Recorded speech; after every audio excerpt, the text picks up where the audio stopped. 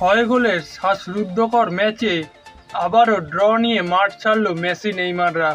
কালকে রাতে স্টার্সবার্গের বিপক্ষে পিএসজি তিন তিন গোলে ড্র করেছে। স্টার্সবার্গ তিন মিনিটের মাথায় এগিয়ে যায়। তেইশ মিনিটের মাথায় কিলিয়ান এমবাপে গোল করে পিএসজিকে সমতায় ফেরান এবং প্রথমার্ধ শেষ হয় এক এক গোলে।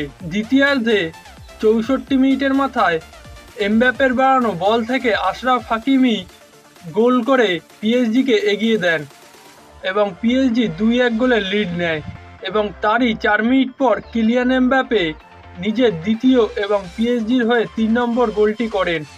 আটষট্টি মিনিটের মাথায় কিলিয়ান এমবাপে গোল করে পিএসজি লিড বড় করেন। পঁচাত্তর মিনিটের মাথায় ভেরাতির আত্মঘাতী গোলে ব্যবধান কমায় স্টার্সবার্গ।